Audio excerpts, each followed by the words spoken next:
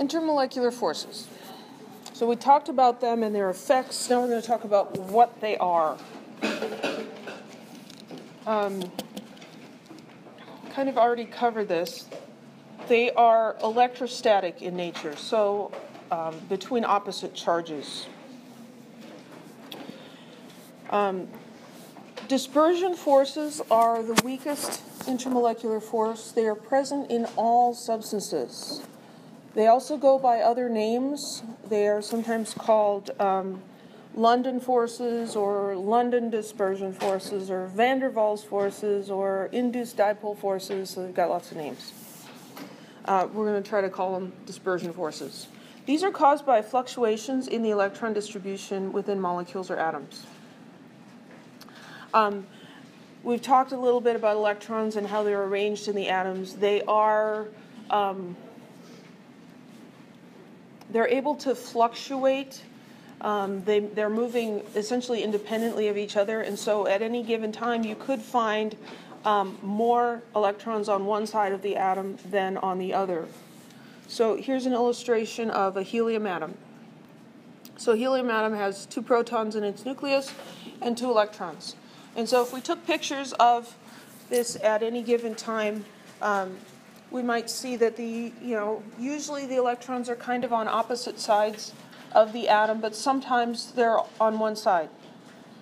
Um, this reminds me of a time when I walked into the living room and I saw all six of my kids on half of the couch. Usually they're like spread out. You know, for a while one of them was in Kansas. I mean, like really spread out. But it, even when they're home, they're like, you know, in their rooms, they're spread out all over the place. But no, this one time, all six of them on half the couch are like piled on top of each other. I took a picture because I'm like, I'll probably never see that happen again. It was spontaneous, it just happened, I didn't arrange it. That can happen with the electrons too. They're, they're moving just uh, for our purposes randomly around in here and they can get lopsided. So if all of the electrons are on this side or more are on this side, then this side of the atom gets a little bit negative and this side of the atom is going to be a little bit positive. You okay with that? It's a little bit like a boat. You got a bunch of people on a boat, and you go past something interesting, like maybe you're taking a, a cruise on the San Francisco Bay, and you go by Alcatraz, and all the people go to the Alcatraz side of the boat. And the boat might tip just a smidge, right? Because there's more weight on one side. That's what's happening here. So spontaneously can happen. When that spontaneously happens in one atom, it can induce that to happen in the neighboring atom. So this one gets lopsided. Negative charge here, positive charge here, partial, very small, bless you. Um, this positive charge here attracts the electrons in the neighboring atom and causes this to be lopsided also. It's an induced dipole. That one got lopsided on its own, and then it causes this one to get lopsided. Well, now we have positive and negative, and there's a bit of attraction between those two atoms. And then this guy gets unlopsided, the kids get off the couch, and it's over. This one getting lopsided because of that one can cause this to happen in a neighboring molecule, and, and that can just go on and on and on. These interactions are extremely brief and they're very weak, but they happen a lot. And that's what a dispersion force is it's a temporary attraction between two atoms due to an imbalance in the electrons.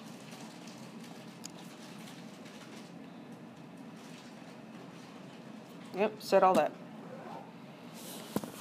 How strong that force is depends on some things. Um, mostly on how easy is it to make that electron cloud out of balance.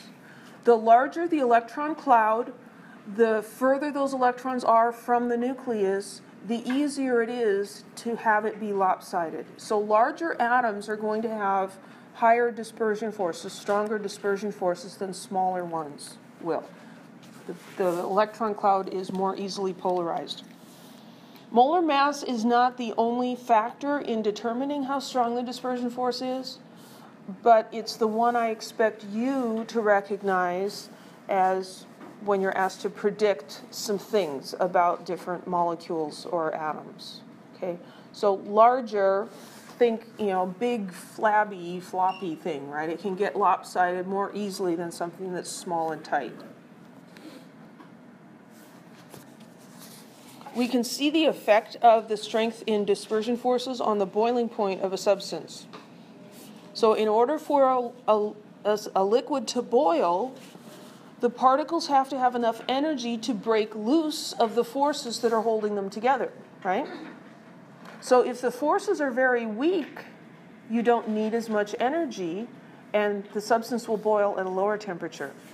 If those substances are very tightly held together, the dispersion forces are strong, you're going to have to get a lot more thermal energy.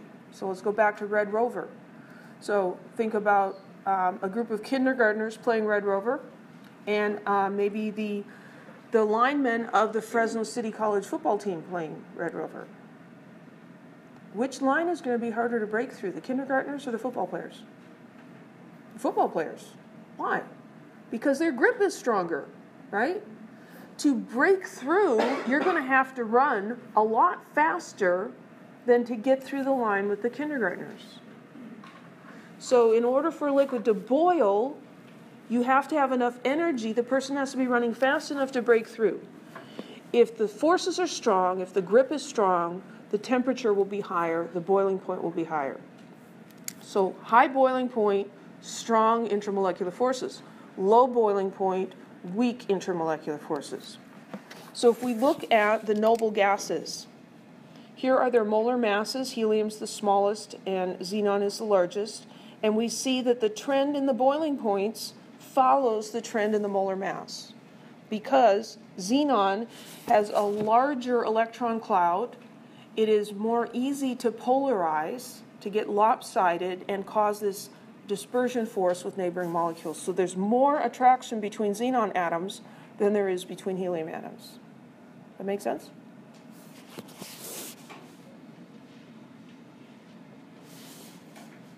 So we should be able to do things like this. Uh, answer a question. Which hydrocarbon, CH4 or C2H6, has the higher boiling point? This is another one where I expect you to be having a little conversation with yourself and talking through this. And so you say, well, higher boiling point, bless you, higher boiling point means that the particles are held more strongly together, so it's harder to get through. So I'm looking for stronger forces. And which one is going to be stronger? Well, what's the difference between these? This is bigger, right? This has two carbon atoms, and that has one carbon atom. So this is a larger molecule. Larger things are floppier, easier to polarize. They're going to have stronger dispersion forces. So which one has a higher boiling point? The bigger one. This one. Any questions? That's it. Yeah. So think about Red Rover speed, running, how fast you're moving, that's temperature. Kinetic energy. How strong the grip of the players is, that's the strength of the intermolecular force. If the intermolecular force is strong, you're going to have to run faster. You're going to have to have a higher temperature to get it to boil. Another force is the dipole dipole force. So dispersion forces are present in everything. Dipole dipole forces are present in polar substances. Um, it's similar to the dispersion force in that it's an attraction between partial charges. The difference is that polar molecules have permanent dipoles. This isn't a temporary fluctuation in electrons. This imbalance is always present. So dipole dipole forces are stronger than dispersion forces.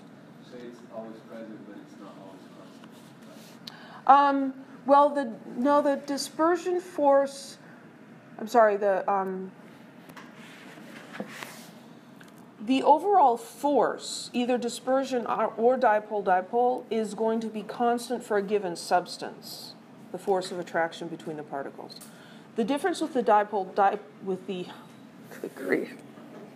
I'm confusing myself. Okay, the difference with the dispersion force is that those attractions between two individual atoms come and go. overall, the strength of that is the same. It's just that the attraction is changing between different atoms. In a dipole dipole force, the attractions are always there. They're not coming and going. And so the, the charge is a little bit larger, this, so that makes it stronger, and the fact that it's always there makes the dipole dipole force stronger. Does that help? So we see that polar substances generally have higher melting and boiling points than similar sized nonpolar molecules. Because in addition to those induced dipoles, the, the dispersion forces, they also have the dipole dipole forces, so they have two types of attraction. More attraction means higher boiling point, higher melting point. So this is uh, formaldehyde. So we see there's a carbon and an oxygen and two hydrogens. When we look at this, we should be able to use my, my simplified method for figuring out is this polar or nonpolar. We look at the carbon, we ask ourselves, that central atom, are there any lone pairs? No. Are the atoms bonded to the carbon all the same? No. There's an oxygen. The oxygen is different than the hydrogens polar molecule.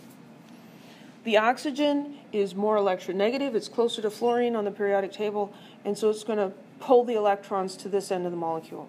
This end slightly negative, this end slightly positive all the time. So between two formaldehyde molecules, there's going to be this attraction. Mm-hmm. Okay, the, this little d, it's the lowercase Greek delta looks like a letter D with a posture issue, right? That stands for a partial charge. So it's not that this is an ion. This isn't a minus one charge and a plus one charge. It might be a plus 0.1 charge and a minus 0.1 charge. It's a fractional charge. Exactly how much the charge is, we don't care. It's just some charge. Any other questions?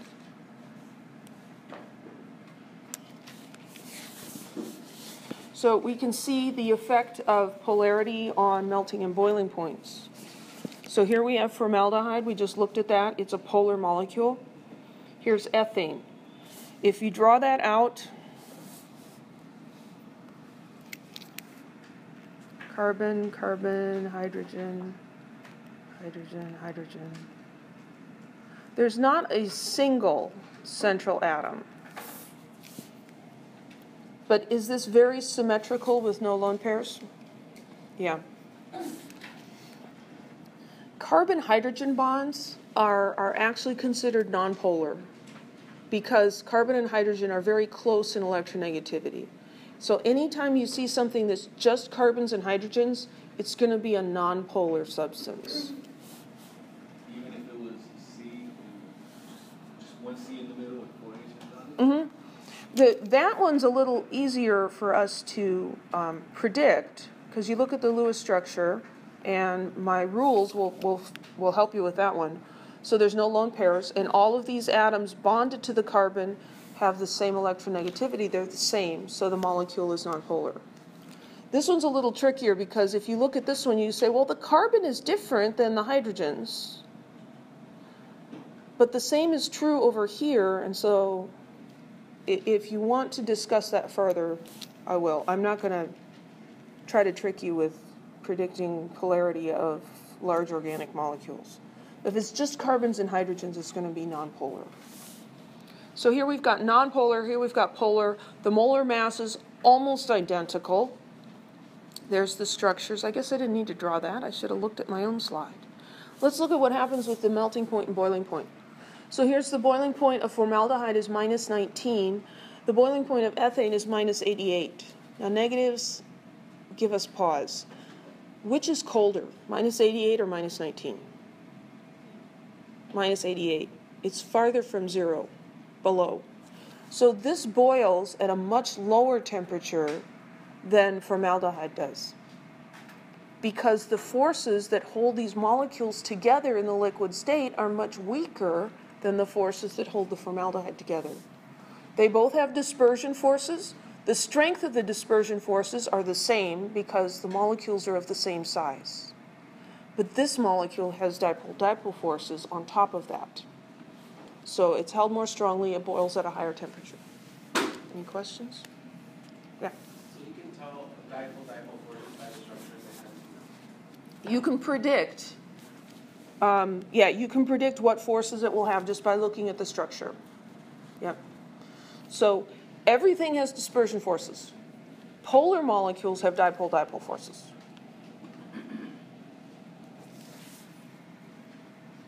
Um, these intermolecular forces affect miscibility. So, miscibility means the ability of a liquid to mix with another liquid without separating into two phases. Um, it's, it's kind of a weird word.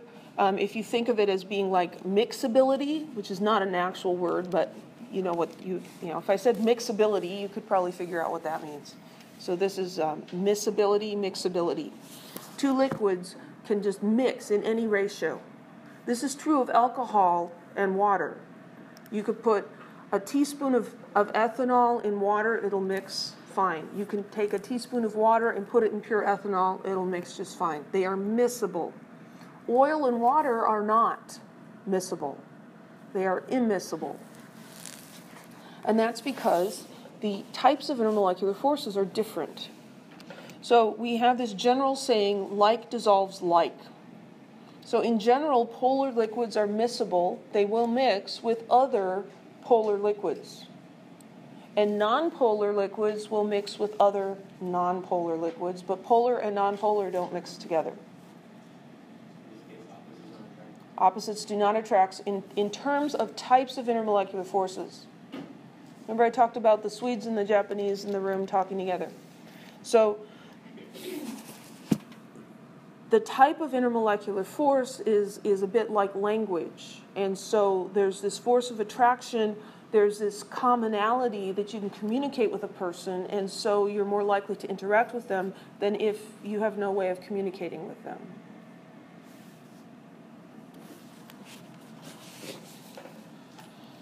So this is um, an illustration of pentane and water. Pentane is um, C5H12 just carbons and hydrogens, it's a nonpolar molecule. It has dispersion forces only. Water has dipole dipole forces and dispersion forces. It is more strongly attracted, and so it squeezes out the pentane, excludes it. Same thing with oil and water. There's a picture of an oil spill from um, a tanker. The oil, the petroleum products, do not mix with the seawater. So, in a way, this is a bad thing because you get this oil slick on the water. But in another way, it's a good thing because you can go and scoop that up and get it out of the water instead of just polluting the whole thing. So, we've gone over this before. The book's method, I'm not even going to talk about that. Um, my method works most of the time. I figure that's good enough. Molecules nonpolar if there are no lone pairs in the central atom and the atoms bonded to the central atom are identical or they have the same electronegativity. So determine whether each molecule has dipole dipole forces. So this is carbon tetraiodide. It's not four chlorine atoms. It's a little hard to tell, right? That's why I gave you the name. So we need to look at the Lewis structure. So here we've got carbon and we've got four chlorines. Yeah, they're iodides. Thank you. Or iodides. Ah. And then there would be some lone pairs on the iodides, iodines. but there won't be any lone pairs on the carbon. So you should be able to draw that, but you'll, you'll need to know how to do Lewis structures. If I give you the Lewis structure, you should be able to tell me, is this molecule polar? No. No lone pairs on the carbon. All the atoms bonded to the carbon are the same. This is a nonpolar molecule. Does it have dipole dipole forces? No. Only polar molecules have dipole dipole forces. What about CH3Cl?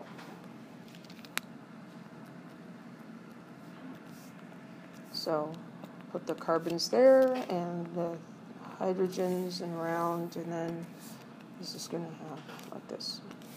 Polar or nonpolar? Polar. No lone pairs on the central atom, but we've got three hydrogens and we have a chlorine. This one's different. And so this is lopsided. It's going to have one end that's different than the other. So does that substance have dipole dipole forces? Yes. Question? So polar molecules always have one end that's different than all the others? Yes. Yep, polar molecules will be lopsided. Um, and, and that's why the lone pair on that central atom is a dead giveaway. That's going to make it lopsided, absolutely. Um, but you can also get it lopsided by having a more electronegative element bonded um, with less electronegative. And so this chlorine's more electronegative, it's closer to fluorine on the periodic table. And so it's going to pull the electron density towards itself. This end is going to be a little negative, the rest of it's going to be a little positive. So the ends are different. What about HCl?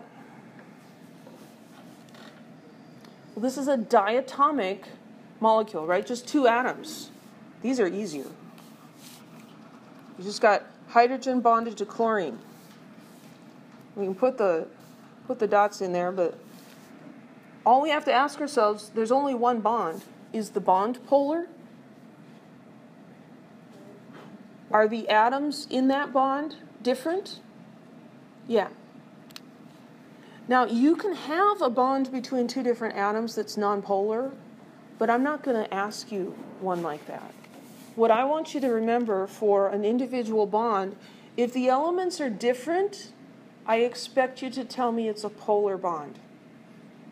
If the elements are the same, it is absolutely a nonpolar bond because how could there be any difference? They're the same. So this also will work most of the time. Is does HCl have dipole dipole forces? Yeah. Any questions?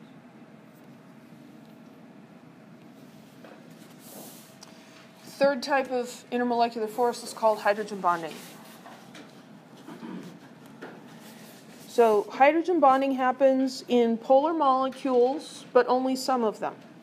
Polar molecules where you have hydrogen atoms bonded directly to fluorine, oxygen, or nitrogen. They have this additional intermolecular force called a hydrogen bond. Um, you can think of a hydrogen bond as sort of being super dipole dipole force. It's the same type of force, it's just a lot stronger. Okay, so it's super dipole dipole force. So, how do you remember this? Which, which things are going to have hydrogen bonding and which ones are not?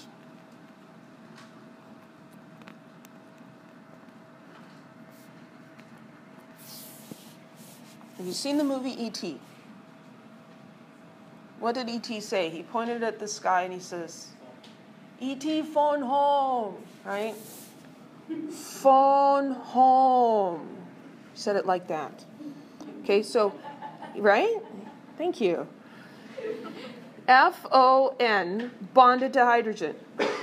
Polar molecule with fluorine, oxygen, or nitrogen directly bonded to hydrogen.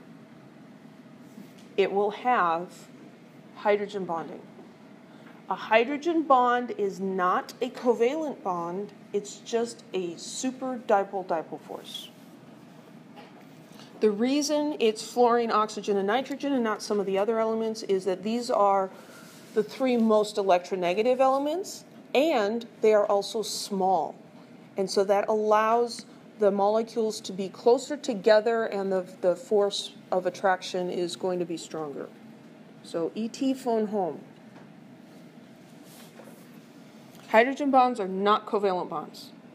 Hydrogen bonds are between molecules, covalent bonds are within the same molecule. The term hydrogen bond is confusing because, you know, you look at a hydrogen molecule, right? Does that have a hydrogen bond? It doesn't have hydrogen bonding. It doesn't have the intermolecular force hydrogen bonding. Is there a covalent bond between two hydrogens? Yeah. That's confusing. FON directly bonded to hydrogen. Um, they're much weaker. They're like 2 to 5% as strong as a covalent bond. They're the strongest intermolecular force of the three we've talked about, but they're not e- anywhere close to the strength of a covalent bond. So that's not hydrogen bonding. So let's look at um, HF. So is this a polar molecule? Yeah. We have just one bond. It's between hydrogen and fluorine. These are different. We predict this is polar. We say ET phone home, fluorine and hydrogen. This could have hydrogen bonding. So here, it's a lot like those dipole dipole forces, but the charges here are stronger. They're still not minus one plus one, but they're larger than they are for the other di- um, polar molecules. So it's the force of attraction between the negative end of one molecule and the positive of another, and it's always going to be hydrogen in this case. Methanol. Here's a methanol. We see we have uh, hydrogen bonded to oxygen. Phone home, FO. So we've got O and the H. Direct bond there. This can have hydrogen bonding. This is a polar molecule. That oxygen has lone pairs. When you look at it, it's, it's lopsided, right? One end is different than the other. So the hydrogen on one of these molecules has a partial positive charge and it will be attracted to the oxygen on a neighboring molecule. And this will cause methanol to have a higher boiling point than a similar size substance that does not have hydrogen bonding. We can compare methanol and ethane. So, what do you think? Polar or nonpolar? Nonpolar. It is very symmetrical looking, right? This one's polar, it's lopsided, and we have hydrogen oxygen bond here. So ET phone home, oxygen and hydrogen in a polar molecule. This one has hydrogen bonding. Look at the differences in their boiling points. Their molar masses are really similar minus 88, positive 64. That's a huge difference. They both have dispersion forces, but methanol has dipole dipole forces and it has hydrogen bonding. Water molecules have hydrogen bonding. Polar molecule with an OH bond. So the negative end is the oxygen, and that is attracted to the positive end, which is a hydrogen on a neighboring molecule, and that's what the hydrogen bond is. The boiling point of water is 100 degrees Celsius. That's crazy high for a molecule of that size. And it's because of the very strong hydrogen bonding that water has. Hydrogen bonding is important in lots and lots of things. Um, proteins have hydrogen bonding that holds them in per- their particular globular shape. When a protein gets denatured and those intermolecular forces are broken, then it doesn't function anymore. Your DNA is held together by hydrogen bonding. The base pairs in the DNA that hold the two strands together are held together by hydrogen bonding. The reason that cytosine and guanine always pair up together is they are perfectly matched to form three hydrogen bonds. Thymine and adenine match up to form two hydrogen bonds. So when your DNA replicates, the double strand is separated and it can make um, a new strand by matching up the base pairs. Really, really cool, all due to hydrogen bonding.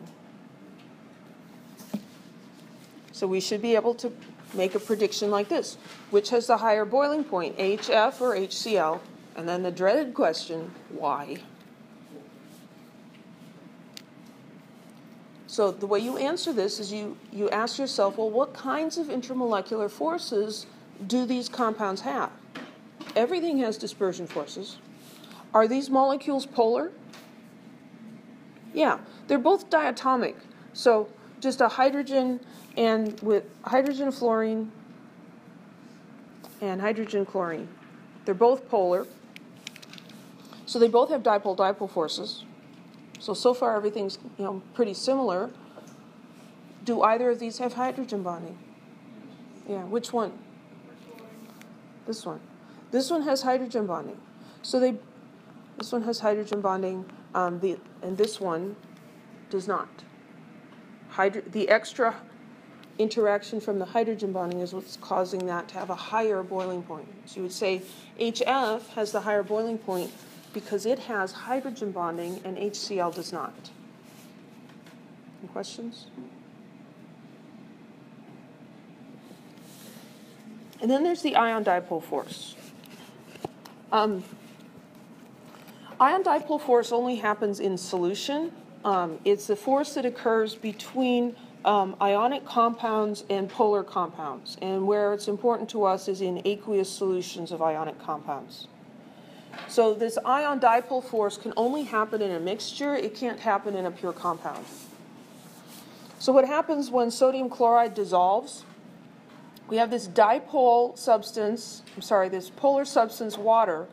Um, and so the water molecules have a positive end, and that positive end is attracted to the negative chloride ion. It's an interaction between a dipole and an ion, ion dipole force. The sodium ion is positive, but the other end of water can be attracted to that. And so that's the ion dipole force. It's the for- force of attraction between a polar molecule and an ion. Table from your book.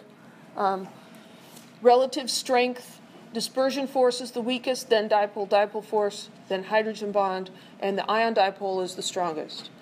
Where is it present? All atoms, only polar molecules. ET phone home, um, mixtures of ionic compounds and polar molecules. This summary.